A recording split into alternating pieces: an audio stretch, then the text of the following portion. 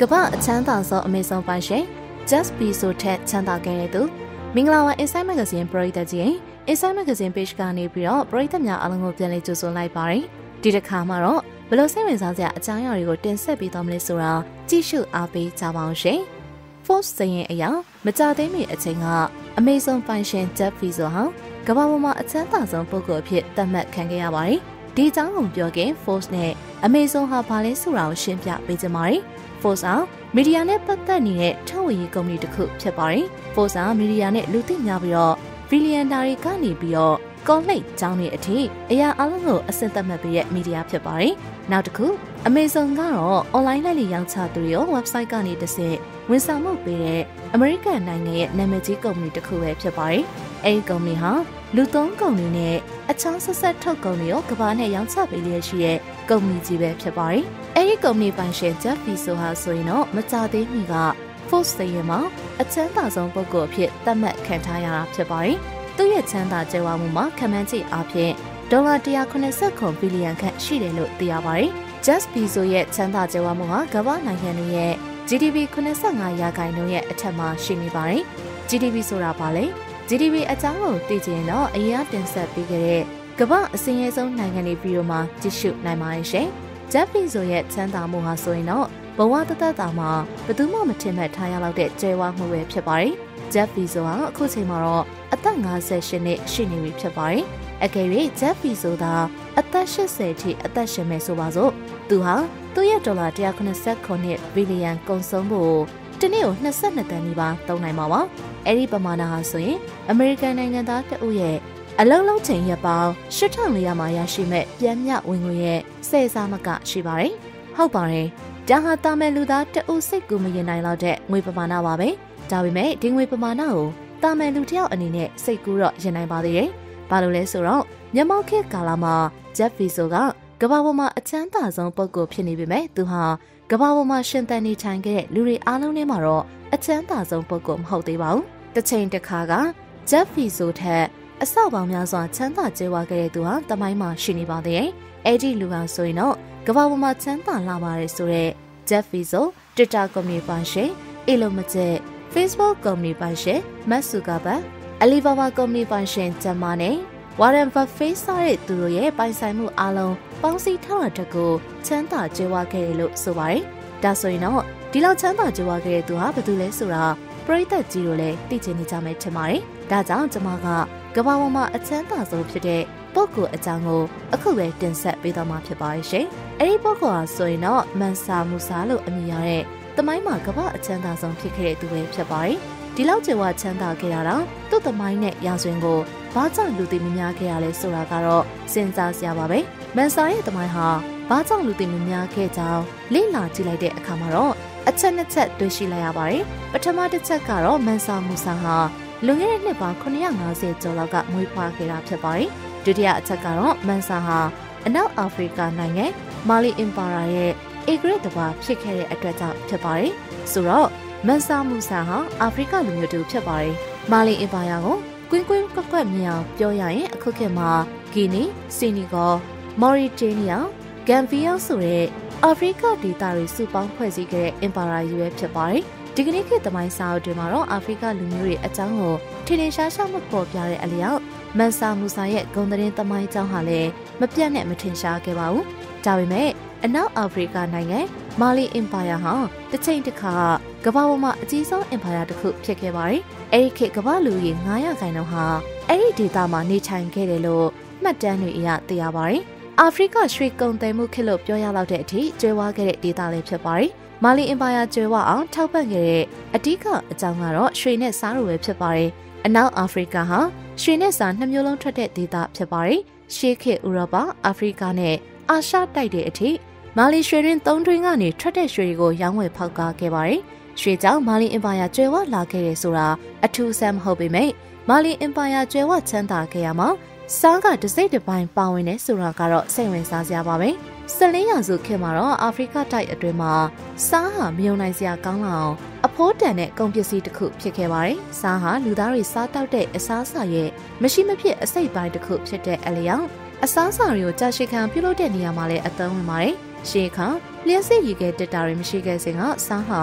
အစားစာတာရှိခံလုပ်တဲ့နေရာမှာအလွန်ကိုအသုံးဝင်ခဲ့ပါတယ်။အဲဒါကြောင့်စားအထွက်ကျတဲ့ဒေတာတွေမှာတော့စားဟာ အဖိုးမဖြတ်နိုင်တဲ့ယေရနာတစ်ပါးဖြစ်ခဲ့ပါတယ်။မာလီအင်ပါရာချမ်းသာကျွဲဝါခဲ့တဲ့အကြောင်းကိုသိရပြီဆိုတော့အေဂရစ်မန်ဆာမူဆာရဲ့တမိုင်းကြောင်းကိုပြန်ကြည့်လိုက်ရအောင်ပါ။အေဂရစ်မန်ဆာမူဆာဆိုရင်80 1980ခန်းကမွေးဖွားလာခဲ့ရပဲဖြစ်ပါတယ်။အဲဒီ1310နှစ်မှာမာလီအင်ပါရာရဲ့ဆယ်ဆက်မြောက်အုပ်စိုးသူအဖြစ်ထိနှံရရှိခဲ့ရပဲဖြစ်ပါတယ်။သူအာဏာရခဲ့ပုံကနည်းနည်းတော့ထူးဆန်းနေပါတယ်။ အေဂရစ်မန်ဆာမူဆာရဲ့နောင်တော့အာဖူကာရီကီတာအေဂရစ်မင်းကအတ္တလန်တိတ်သမုဒ္ဒရာဘက်ကိုနေချက်ရန်ထွက်သွားတဲ့အခါမှာအေဂရစ်မန်ဆာမူဆာကိုယာယီအုပ်စိုးသူအဖြစ်သာအာဏာပေးရခဲ့တာဖြစ်ပါတယ်။အာဖူကာရီကီတာအေဂရစ်မင်းကတမော3000နဲ့သမုတ်တရားခီထွက်ခွာခဲ့ပါတယ်။ညီတော်မန်ဆာမူဆာကိုတော့ရာဇပလင်နဲ့အတူမာလီအင်ပါရာကြီးကိုအုပ်ချုပ်စီခဲ့ပါတယ်။အချိန်အတော်ကြာတဲ့အထိအေဂရစ်အာဗူကာရီခီတာ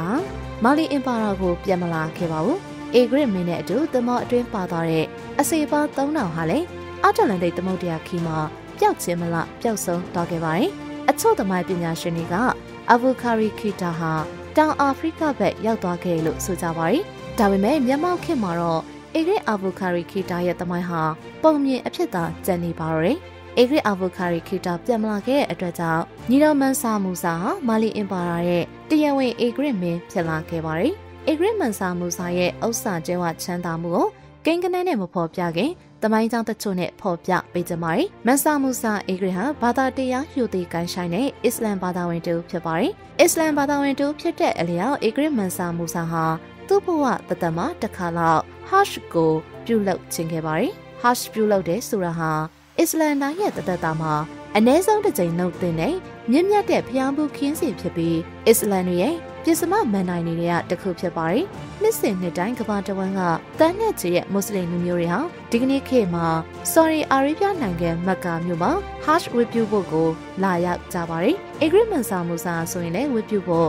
မက္ကာမြို့ကိုသွားဖို့ဆန္ဒရှိခဲ့ပါတယ်။အဲလိုနဲ့ agreement စာမှုစာဟာမာလီကနေပြီးတော့ပါရှန်ပိုးတွေဝတ်ဆင်ထားတဲ့အစေပါ6တောင်စင်အကောင်ရည်100ကလအုပ်80စစ်တီကိုရနော900နဲ့အတူ Sorry Arabia နိုင်ငံမက္ကာမြို့ခီးထွက်လာခဲ့ပါတော့တယ်။ agreement စာမှုစာရဲ့ခီးဟာလူပေါင်းများစွာနဲ့မြို့တစ်ခုလုံးပြောင်းရွှေ့လာတဲ့အတိုင်းစီကနေခဲ့ပါတယ်။ဒါကိုမြင်အောင်ကျင်အာလာဒင်ကမင်းသမီး Jasmine အထင်ကြီးအောင်မြို့ထဲကိုအခြေရန်များစွာနဲ့ရွှေငွေရတနာတွေတည်ဆောင်ယူလာတဲ့မြေခွေနဲ့တူနေမှာအမှန်ပါပဲ။ဒါပေမဲ့အာလာဒင်ကမိကွက်ဆော့ဘလို့ဂျင်းကြီးအကူကြီးကြောင့်မလို့ မြောင်များစွာသောရွှေငွေပစ္စည်းတွေကိုလွယ်ကူစွာတည်ယူခဲ့ပေမဲ့အေဂရစ်မန်ဆာမူဆာကတော့မြောင်များစွာသောရွှေငွေရတနာတွေကိုဘယ်လိုတည်ဆောင်ခဲ့သလဲပြီးတော့ဘာကြောင့်မာလီအင်ပါရာကနေပြီးတခြားမြို့စီကိုသူရဲ့ပစ္စည်းဥစ္စာတွေတည်ဆောင်သွားခဲ့တာလေအေဂရစ်မန်ဆာမူဆာဟာ 2100ကီလိုဂရမ်ရှိတဲ့ရွှေတွေကိုမာလီကနေမက်ကာကိုတည်ဆောင်ယူသွားခဲ့ပါတယ်မီတာ4000ကျော်ခီကိုဒီလောက်များတဲ့ရွှေငွေတွေကိုကားမရှိရထားမရှိခင်မှာဘယ်လိုတည်ဆောင်သွားသလဲဆိုတာသိကျင်စရာကောင်းပါတယ်အေဂရစ်မန်ဆာမူဆာဟာသူနဲ့အတူပါလာတဲ့အစေပါ6တောင်းကိုတုံကို၄ပေါင်အလေးချိန်ရှိတဲ့ရွှေချောင်းတစ်ချောင်းတည်ဆောင်စီခဲ့ပါတယ်။ကလအုပ်80ကိုတော့ပေါင်90ကနေ ပေါင်300ထိအလေးချိန်ရှိတဲ့ရွှေငွေရတနာတွေကိုတည်ဆောင်စီခဲ့ပါတယ်။ဒီလောက်များပြားတဲ့ရွှေငွေဥစ္စာပစ္စည်းတွေကိုတည်ဆောင်ယူလာခဲ့တာဟာအေဂရစ်မန်ဆာမူဆာရဲ့ရွေချက်ကအလွန်ကောင်းတဲ့ရွေချက်ဖြစ်ခဲ့ပါတယ်။သူဟာသူ့ရဲ့ခီလန်တစ်လျှောက်မှာမြင်မြင်သမျှစင်ရသားပြည်သူတွေကိုတည်ယူလာတဲ့ရွှေငွေတွေကိုမျှဝေပေးခဲ့ပါတယ်။အေဂရစ်မန်ဆာမူဆာဟာမာလီမကာခီးလန်းမှာမြင်တွေ့ရတဲ့စင်ရဲသားပြည်သူတွေကိုလှူဒန်းခဲ့ရုံသာမကကာယုံနဲ့မီဒီနာဒေတာကပြည်သူတွေအထိလိုက်လံလှူဒန်းခဲ့ပါသေးတယ်။ ဒီလိုထမရေစည်းကြောင်းကြီးမားတဲ့လှူဒန်းမှုဟာအဲ့ဒီခေတ်အခါကနေပါတဲ့အတွက်ကြောင့်မလို့အေဂရစ်မန်ဆာမူဆာရဲ့အလူအတန်းကုန်တဲ့ဟာဆိုရင်တော့ဒေတာအနှံ့ပြားပြန်နေခဲ့ပြီးလူတွေကိုအံ့အားသင်စေခဲ့ပါတယ်။အေဂရစ်မန်ဆာမူဆာမကာမြို့ရောက်ရှိတဲ့အခါမှာတော့နှုတ်ကပတ်တော်ကိုတာမန်ရိုးရှင်းရှင်းမဆောင်ခဲ့ပဲအစင်လာတစ်ခုကိုသတ်မှတ်ခဲ့ပါတယ်။ အဲ့ဒီအစင်လာကတော့အေဂရစ်မန်ဆာမူဆာဟာအဲ့ဒီခေတ်အခါမှာအချမ်းသာဆုံးအေဂရစ်တစ်ပါးဖြစ်ခဲ့တဲ့အလျောက်သူဟာသူ့ရဲ့ဖျားဖို့ခီးစဉ်ကာလတစ်လျှောက်လုံးတောက်ကြနေတိုင်းသူရောက်ရှိနေတဲ့အရာမှာဗလီတစ်ခုတည်ခဲ့ပါတယ်။အေဂရစ်မန်ဆာမူဆာရဲ့ခီးစဉ်ဟာစုစုပေါင်းနှစ်နှစ်နီးပါးကြာခဲ့ပြီးသူရောက်ခဲ့တဲ့နေရာတိုင်းမှာဗလီမြောက်များစွာတည်ထားခဲ့ပါတယ်။အေဂရစ်မန်ဆာမူဆာရဲ့ဂုဏ်သတင်းတွေဟာ အလွန်ကြော်ကြားလာခဲ့ပြီးမာလီအင်ပါရာဟာဆိုလို့ရှိရင်ကမ္ဘာမြေပုံမှာပထမဆုံးအနေနဲ့ထည့်သွင်းခံခဲ့ရပါတယ်။ဒါတွေဟာသမိုင်းကြောင်းတစ်ခုဖြစ်တယ်လို့သမိုင်းပညာရှင်တွေရဲ့ကောက်ချက်ချပုံချနည်းတွေကလည်းမမတူကွဲပြားလျက်ရှိပါတယ်။တချို့တမိုင်းမှာဆိုရင်တော့အေဂရစ်မန်ဆာမူဆာဟာလှူဒန်းဖို့တသက်မဟုတ်ပဲသူပိုင်ဆိုင်တဲ့ပစ္စည်းဥစ္စာကျဲဝချမ်းသာမှုတွေကိုလူများသိစေရတဲ့ပြိုင်ဘက်ရန်သူတွေကိုအထင်ကြီးစေဖို့ကြောင်းဝခြင်းဖြစ်တယ်လို့ဆိုကြတာတွေလည်းရှိပါတယ်။ Hush Key စင်ပြီးသွားတဲ့အခါမှာတော့ Agrit Mansa Musa ဟာမာလီကိုပြန်ခဲ့ပါတယ်။မာလီကိုပြောင်းတဲ့အခါမှာလည်း Agrit Mansa Musa ကမာလီဒေသတဝမ်းမှာဗလီတွေနဲ့မာဒရာဆာလို့ခေါ်တဲ့အာဖရိကစာသင်ကျောင်းတွေကိုလည်းဆောက်လုပ်ခဲ့ပါသေးတယ်။အေဂရစ်မန်ဆာမူဆာမျက်စိကြိုက်ဒေတာတစ်ခုရှိခဲ့ပါသေးတယ်။အဲ့ဒါကတော့ Timbuktu ဒေတာဖြစ်ပါတယ်။ Timbuktu ဟာအတ္တလန်တိတ်သမုဒ္ဒရာနဲ့ Eldorado ဒေတာတို့လိုဒန်နိုင်လာနေရာတစ်ခုဖြစ်ပါတယ်။ ဘာလို့လဲဆိုတော့1830ခုနှစ်ကာလထိဘယ်ဥရောပနိုင်ငံသားကမှတင်ဘုတ်ထူဒေတာကိုရှာဖွေတွေ့ရှိခဲ့ခြင်းမရှိခဲ့တဲ့အတွက်ကြောင့်ဖြစ်ပါတယ်။အဲ့ဒီဒေတာနာမည်ကြီးလာရတဲ့အကြောင်းရင်းကတော့အေဂရစ်မန်ဆာမူဆာကြောင့်ပဲဖြစ်ပါတယ်။အေဂရစ်မန်ဆာမူဆာကတင်ဘုတ်ထူဒေတာကိုမက္ကာမှာမာလီကိုပြန်တဲ့ခီးမှာတွေ့ရှိခဲ့တာဖြစ်ပြီးအဲ့ဒီဒေတာကို ကုံသွဲမှုယဉ်ကျေးမှုဘာသာရေးနဲ့ အာဖရိကမှာသာမကကမ္ဘာတဝန်းလုံးတင် जा ရေးဆိုင်ရာအကြီးဆုံးနေရာဒေသအဖြစ်ပြောင်းလဲဖို့ဆုံးဖြတ်ခဲ့ပါတယ်။အေဂရစ်မန်ဆာမူစာရွှေ200ကီလိုဂရမ်အသုံးပြုပြီးတည်ဆောက်ခဲ့တဲ့ဂျင်ကူရဲဖာဗလီဟာဆိုလို့ရှိရင်ဒီကနေ့ခေတ်အထိတည်ရှိနေပြီးတော့တင်ဘုတ်ထူတက္ကသိုလ်ရဲ့တစိမ့်တပိုင်းအဖြစ်တည်ရှိနေပါတယ်။2500ကျော်သောကျောင်းသားတွေတက်ရောက်ခဲ့ပြီးတန်ပေါင်းများစွာသောစားတွေရှိတဲ့စာကြည့်တိုက်ကြီးလေတင်ဘုတ်ထူတက္ကသိုလ်အတွင်းရှိနေပါတယ်။ အဲ့ဒီချိန်ကာလအထိဥရောပတိုက်သားတွေဟာအာဖရိကတိုက်ကလူတွေကိုအသိပညာကင်းမဲ့ပြီးရည်ကျင်းမှုမရှိတဲ့သူတွေပြည့်နှက်နေတဲ့ဒေသအဖြစ်သာထင်မြင်ကြတော့မယ်ဖြစ်ပါတယ်။အေဂရစ်မန်ဆာမူစာ1338ခုနှစ်တပ်တော်58နှစ်မှာကွယ်လွန်ခဲ့ပါတယ်။အေဂရစ်မန်ဆာမူစာရဲ့ပစ္စည်းဥစ္စာပိုင်ဆိုင်မှုတွေကိုအတိအကျဖော်ပြထားခြင်းမရှိပေမဲ့ခံမှန်းချေအရဒေါ်လာ400ဘီလီယံအထက်ရှိခဲ့တယ်လို့ယူဆလို့ရပါတယ်။အခုခေတ်ကကမ္ဘာအချမ်းသာဆုံးပုဂ္ဂိုလ် Just Bezos ရဲ့ပစ္စည်းဥစ္စာပိုင်ဆိုင်မှုဟာ189ဘီလီယံနဲ့ရှင်လိုက်ရင်တော့အတော်လေးကိုကွာခြားနေပါသေးတယ်။ကောင်းတာတစ်ချက်ကအေဂရစ်မန်ဆာမူစာဟာသူစင်းရဲတွေကိုထောက်ပံ့ကူညီပြီးဒေတာတွင်တိုးတက်မှုတွေများစွာပြုလုပ်ခဲ့တဲ့အတွက်တမိုင်းမှာလေးစားထိုက်တဲ့ပုံကိုလို့သတ်မှတ်ထိုက်ပါတယ်။ပရိသတ်များရှင်ဒီကနေ့တင်ဆက်ပြီးသွားတဲ့အကြောင်းအရာဟာဆိုရင်တော့ကဘာပေါ်မှာအချမ်းသာဆုံးပုံကိုဖြစ်တဲ့အေဂရစ်မန်ဆာမူစာရဲ့စိတ်ဝင်စားစရာအကြောင်းကိုတင်ဆက်ပေးသွားမှာဖြစ်ပါတယ်။ နောက်နေ့တွေမှာလည်းဒီလိုစိတ်ဝင်စားစရာဗီဒီယိုတွေကိုကြည့်ရှုနိုင်ဖို့အတွက် Inside Magazine page ကို like and follow လုပ်ခဲ့စေချင်ပါတယ်ရှင်။အဆုံးထိကြည့်ပေးကြတဲ့ပရိသတ်သူတယောက်ချင်းစီတိုင်းကိုကျေးဇူးအထူးပင်တင်ရှိပါရရှင်။